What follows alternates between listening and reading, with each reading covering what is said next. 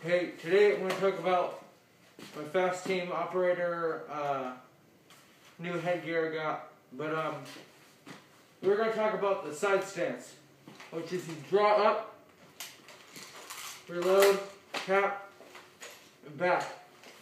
People don't know this, but you should keep, instead of like this, or like this, square your body up. So when you draw up, you can see both sides. You can reload, check both sides, come back, walk around, reload.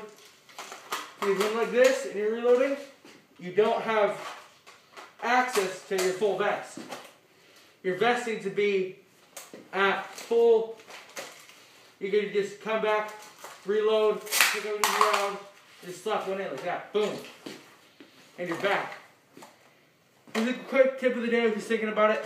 Have a good day. It's Pod Tactical. See you guys later.